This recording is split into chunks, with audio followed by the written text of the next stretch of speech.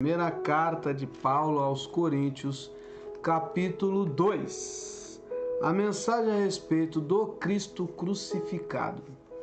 Meus irmãos, quando fui anunciar a vocês a verdade secreta de Deus, não usei muitas palavras nem grande sabedoria, porque quando estive com vocês resolvi esquecer tudo, a não ser Jesus Cristo e principalmente a sua morte na cruz quando visitei vocês, eu estava fraco, tremia de medo.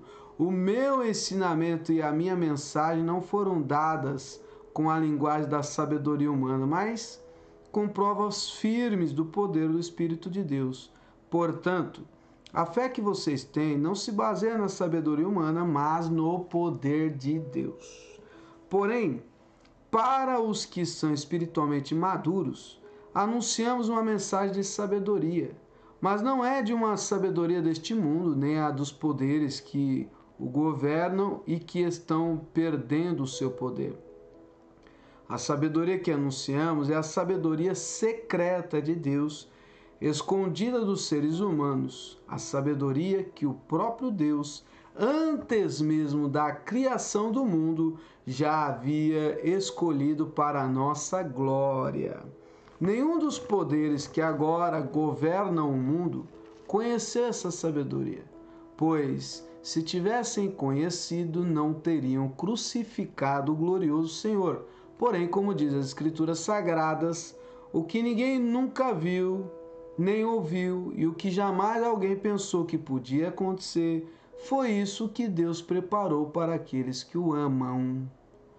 Mas foi a nós que Deus, por meio do Espírito, revelou o seu segredo. O Espírito Santo examina tudo, até mesmo os planos mais profundos e escondidos de Deus.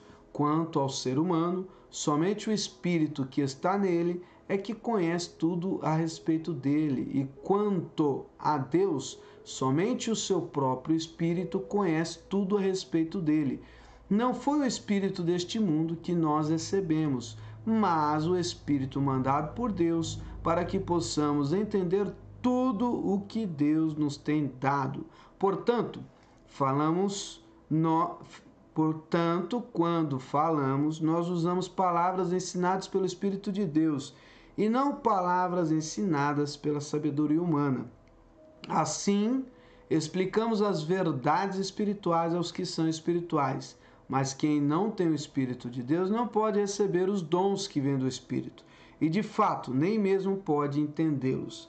Essas verdades são loucura para essa pessoa porque o sentido dela só pode ser entendido de modo espiritual. A pessoa que tem o Espírito Santo pode julgar o valor de todas as coisas, porém ela mesma não pode ser julgada por ninguém. Como dizem as Escrituras Sagradas, quem pode conhecer a mente do Senhor?